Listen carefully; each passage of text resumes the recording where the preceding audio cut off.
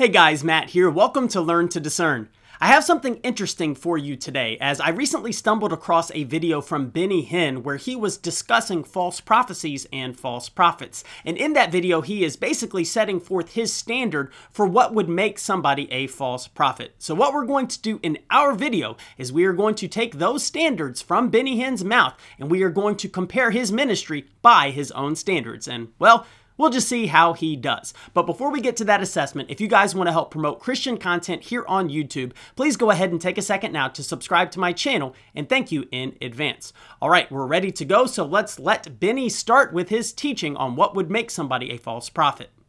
And I think this is a very, fam- fa- a very familiar portion, but it says they have a form of godliness. Now, what, what is that? They have a form of godliness but they deny the power thereof from such turn away.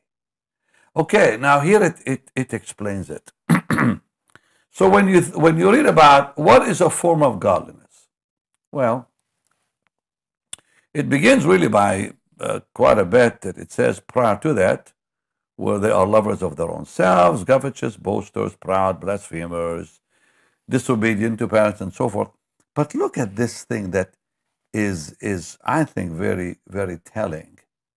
It says, For this sort, verse 6, for this sort, he's talking about those who, who, who come as, they, as though they are, they are godly, are they which creep into houses and lead captive, silly women laden with sins, led away with divers lusts. So they are the ones, and the uh, what what we saw earlier in this in this portion. You can go read it for yourselves. It says they are they are covetous. All right, so the first thing that Benny Hinn talks about is somebody being covetous, that is greedy. Well, since he is talking so much about that, I am certain there's no chance that Benny Hinn would have demonstrated the fact that he is covetous or greedy at any point during his ministry, right? If God is speaking to you to sow $1,000 seeds tonight, I'm asking for those amounts because I want to see your faith released tonight. When you sow larger amounts, you release faith. And when faith is released, God Almighty will release the harvest. Hmm, asking people to give larger amounts to his ministry so that they can give a larger blessing. I'm sure that's not covetous at all. But just in case we have any questions, let's listen to Costi Hinn. This is Benny Hinn's own nephew who worked in Benny Hinn's ministry talk about how Uncle Benny used the money that he received. Working with him and really growing up in the inner circle of the faith healing and prosperity gospel and word of faith movement and add all the others, charismatic, third wave, all of that, uh, I saw where the money went. I knew why we would begin to fundraise harder at certain times throughout the year based on spending and whatnot. And uh, it's a lifestyle that is built for us on the backs of the sick and the poor, and donations are key to maintaining that lifestyle. And, but when I say lifestyle, I mean excessive lifestyle. Uh, homes and properties upwards of $10 million, and I'm being conservative so that I'm my integrity is intact and we don't exaggerate, but the number gets a lot higher when you add in multiple properties. Uh, our hotel, when I traveled, one of my favorite places, and I've mentioned this before, was the Burj Al Arab, the massive hotel in Dubai, in the United Arab Emirates, that's shaped like a sail. It's on a man made island. You get picked up in three luxury cars. And we stayed in the royal suite. I remember sleeping in my own room within the royal suite. There were multiple rooms uh, the square footage is beyond what uh, most people will ever own if they had two homes put together. And it was $25,000 per night to stay in the Royal Suite. And the hotel has actual gold all throughout it literally thousands and thousands of tons of gold. You can look this up, it's legit.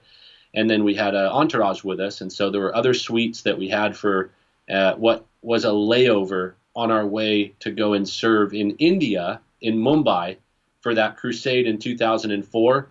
All right, so there you have it. Benny Hinn is exploiting the poor and the desperate in order to fund a lavish lifestyle for himself and for his companions. That certainly seems to fit into the category of being covetous to me.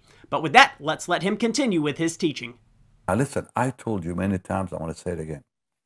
Any prophecy that is outside re- redemption is psychic. Anything outside redemption is psychic. So when someone says to you something like, well, so and so is going to be president, you have to ask, what has this got to do with my redemption or the church's redemption? Or so and so is going to be a movie star. What has this got to do with redemption? Or you're going to get a, a raise or whatever. You're going to get more money. Mm-hmm. What has this got to do with my redemption? So it's all bordered by redemption. And a lot of the prophecy today goes outside redemption. All right, so very clearly, Benny Hinn says it's a bad thing if somebody is giving a prophetic word outside of redemption, meaning their prophecy doesn't have anything to do with Jesus or his work on the cross. Now, what's really interesting is he even gives a very specific example of somebody who might prophesy that a particular person is going to end up being the president. Well, if that is the case, then we should not expect to find any video evidence of Benny Hinn interviewing somebody who calls themselves a prophet and asking them about who is going to be president in the future. He said this, he said, in the vision that he gave me on February 12th, he said, look, what do you see? I said, Lord, it's 2024. He said, look, what do you see? And I saw the words. Are you ready for the word? He said, it's payback. And then watch this. Rec, come, pence. Come on. Say it again. Rec, come, pence. Wow. Pay attention. Why do you think God allowed a man to be raised up with the name Trump? Which the Lord said something, He said, I'm standing in the midst of the man, and my spirit is attached to him, and I'm putting Trump, and I'm calling it triumph, with I'm standing in the middle. Okay? Thank you, Lord. Why do you think there's the word Pence? Because there's something of God's plan if we pray and cooperate with Yes, God we prophetically. You always have to mix the prophetic with, with Prayer. prayer. Can I ask you then? Are you saying to us if we pray that Pence will be president? Yes. I'm saying recompense. and his and the name Pence means more than just it's part of the I had to ask that. Now, you'll notice how Benny Hinn did not rebuke Hank Kunneman or say anything to him about, brother, this prophecy doesn't have anything to do with redemption. No, Benny Hinn was leaning in and wanting to know more. Now, you might be thinking to yourself, but Matt, Benny Hinn himself did not give the prophetic word that was outside of redemption. Well, you're right in that case, but not in these. The Spirit tells me Fidel Castro will die in the 90s. Oh my. Some will try to kill him and they will not succeed. But there will come a change in his physical health and he will not stay in power. And Cuba will be visited of God. I'll give you a little piece of news that I felt in my soul yesterday. Someone will come up for a cure for that coronavirus. Guaranteed. I know it by the Holy Ghost, so relax. Okay? Just calm down. It'll probably kill about 5,000 people. That's what I felt from the Lord. It's gonna, gonna timber down. It'll be all done. But frankly, thousands will die. When it, when it hits 5,000, it'll change, it'll shift. There'll be, there'll be a breakthrough after that. So, Benny, what did those prophetic words have to do with redemption? That's right, they didn't. By the way, I would also note that neither of those prophetic words came true. Very interesting. We'll keep that in mind as we go to our next teaching from Benny Hinn. But let me just add one more thing that I need to say. If you don't know, then you have to ask another question. Because the Bible says, Paul wrote, he says it's for edification, exhortation, and comfort. So if it's not something that's edifying you, or that, that is to build you up in the spirit, or to exhort you, to strengthen your, wa- your walk with God, or to comfort you, it's not the Lord. Mm-hmm. If it brings fear, it's not the Lord. Or questions, it's not the Lord. Or confusion, it's absolutely not the Lord. All right, Benny, so you say prophecy needs to be encouraging, exhorting, and edifying. Please show us how it's done. The Lord also tells me to tell you in the mid 90s, about 94, 95, no later than that. God will destroy the homosexual community of America.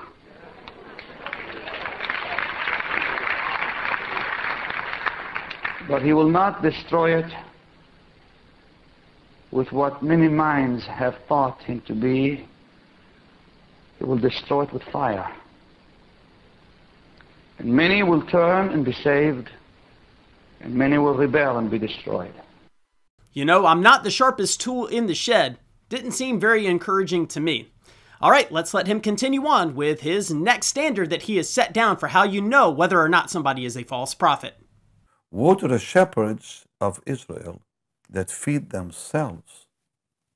Hmm. When have you heard a people that prophesy really know how to teach the Bible?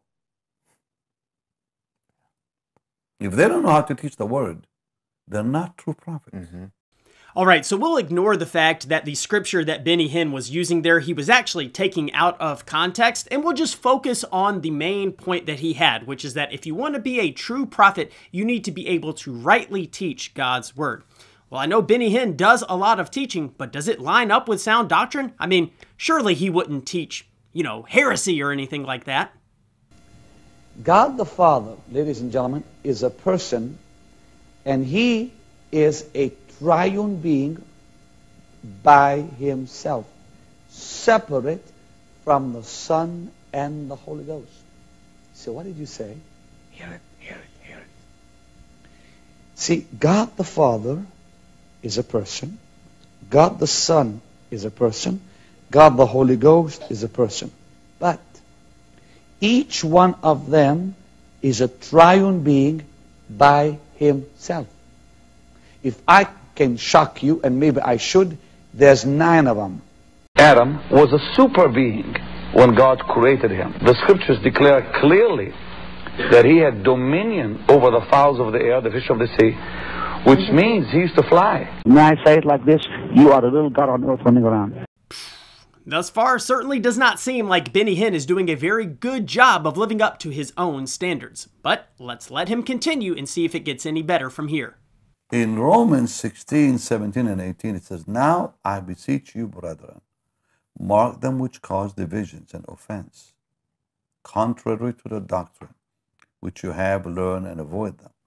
For they that are such serve not our Lord Jesus Christ, but their own belly, and by good words and fair speeches deceive the heart of the simple. Now, doesn't that fit with them speaking good words, fair speeches? Yeah. But it's not the word of God coming out of them. It's just good words. All will be well. All, and they, they give you the, you know, God says you, you, you're going to prosper. You're going to be blessed. Da, da, da. Just good words, fair speeches, but they they deceive the heart of the simple. All right, so a false prophet is somebody who would just tell you good things, aka the things that you want to hear. And Benny Hinn gave some specific examples saying, All is well, you are going to prosper in everything. I think by this point you can probably tell where this is going. And thank God He will prosper you. Because you have an amazing financial destiny. Because our economic heritage is much greater than just paying our bills and meeting our needs. Because what God has promised us is so powerful, it's greater, much greater than just having enough money to pay our bills, having enough money to meet our needs. It's way more than that. All right, Benny, let's listen to you tell us what we should be looking out for next. And then here's here's uh, another one that I think is very important, and that's uh, in Deuteronomy, and that's very clear. And look what what Moses had to say. All right, Deuteronomy 18, verse 20. It says, "But the prophet which shall presume to speak a word in my name, which I have not commanded him to speak." or that shall speak in the name of other gods, that prophet will die. Wow. Now that's scary stuff. So anyone who prophesies and they're not speaking by the Lord, they can bring destruction to their own life. And then God says, Now, and if thou say in thine heart, How shall we know the word? So if you people say, Well, how do we know? Well, quite it, it's very clear here in verse mm-hmm. 20, 22. It says, When a prophet speaks in the name of the Lord, if the thing follow not, nor come to pass, that is the thing which the Lord hath not spoken. Mm-hmm. The prophet has spoken presumptuously. You'll not be afraid of him. All right, this is one of the rare times where I can agree with Benny Hinn. Deuteronomy 18 does indeed tell us that one of the ways we will recognize false prophets is if someone is prophesying in the name of the Lord and it does not come to pass. Now, this is interesting because we've already looked at a couple of examples of Benny Hinn doing that exact same thing. But for good measure, we're going to listen to a recent prophetic word that was given by Benny Hinn, where he was prophesying that peace was going to come to Israel. And unfortunately for him, he gave that prophecy right before war broke out with Israel and Gaza. But let's check it out. For the first time, we are going to see these nations come together in peace. I have amazing news for you, but I'm going to wait till you all come on. Prophetic news. This is a prophetic alert that is remarkable. What the Lord is doing is amazing. And I'm here to tell you peace will come between the Palestinians and the Israelis. How? Only God knows. But it's going to have to happen for you know, a short time, even if not, maybe a little longer. This is going to be a global revival because now Israel is making peace with its neighbors. I mean, this guy is just failing every single one of the standards that he has put forward. But let's see if he can possibly redeem himself here at the end. That's verse 3. It says what? And through covetousness shall they with feigned words make merchandise of you, Now, though that word feign means deceptive. whose judgment now of a long time lingereth not, and their damnation slumbereth not. What it says here is these individuals who are false prophets ah. are greedy. Yeah. They're doing it for money. Anyone doing it for money, don't even listen to them. Mm-hmm. Mm-hmm. If they ask you for an offering, once they prophesy, run. All right, so Benny has come full circle, and we now have gone back to him talking about people deceiving you, and they're doing so because they are greedy for gain. Let's see how this one plays out. Costi Hinn blames that on what's known as the prosperity gospel. The theology, it's estimated, has earned his uncle as much as $100 million a year. Yeah, so the way that the prosperity gospel works is that if you believe in Jesus and you follow Jesus, that he is going to make you happy, healthy, and wealthy. The problem is, it's just like a Ponzi scheme. The only guy getting rich is the guy at the top. All right, guys, as we wrap up, I want to point out the fact that scripture tells us that false teachers will simultaneously deceive others while they themselves are being deceived. I bring that up because you may ask, does Benny Hinn know what he is doing? I have no idea at what point he knows what he is doing and at what point he does not know. I don't know if he recognizes that he has failed his own standards and he's going to talk about it anyways in hopes that people just don't bring up his past. Or maybe he is so deceived that he doesn't even recognize that he is speaking about himself when he talks about a false prophet. Either way, we see this man very clearly is a false teacher and a false prophet. You see it from his very own standards that he has put forth. And I bring this up because maybe you're watching this video and maybe you have been associated with Benny Hinn, his ministry. You think that he's a great man of God. But I mean, here I hope it was very plain and simple. You can see that he does not live up to his own standard. He uses a lot of language that might sound really good, and you're like, wow, listen to him call out false prophets. Listen to him talk about false prophecy, and maybe you've never recognized the fact that he is the very thing that he is warning against. And so, my heart in doing this is that you will hopefully turn away from him and his ministry. Okay, guys, I hope this video was helpful to you today. If it was helpful and you want to get more content like this out to people on YouTube, please make sure you take a second now to subscribe to my channel. Also, if you would like to partner together with me financially in ministry, you can do so by checking out the links that I will put down below in the description. I do not promise you prosperity or any sort of great blessing, but it certainly does help me in my efforts to get more of this content out to other people so that by God's grace, hopefully they will come out of deception and embrace the truth. Thank you so much for watching, and until next time, God bless.